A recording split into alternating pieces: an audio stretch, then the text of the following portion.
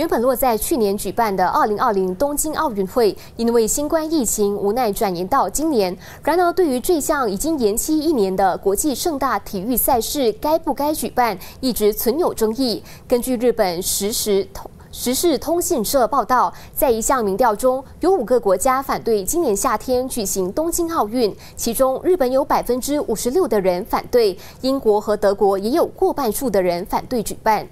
这项由国际咨询公司 CSCNC 进行的跨国民调，对象是日本、美国、英国、法国、德国和瑞典六国的十八岁以上民众各一千人。结果，奥运主办国日本反对奥运举办声浪最高，其他四国的反对声音也超过赞成如期举办。只有美国反对和支持的比例各占百分之三十三。